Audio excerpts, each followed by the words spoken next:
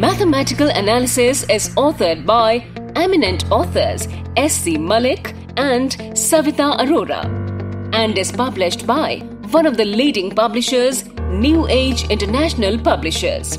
This latest multicolor edition of the book is intended for the undergraduate and postgraduate students of mathematics.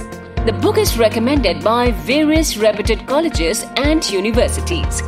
This is one of the best selling books on mathematical analysis. S.C. Malik retired as a senior lecturer from the Department of Mathematics, Khalsa College, Delhi University. He is pioneer in his subject and has nurtured his students for three decades. He is a distinguished author in his field and has also authored a book on real analysis, which is a very popular book. Savita Arora, retired as a senior lecturer from the Department of Mathematics, Khalsa College, Delhi University.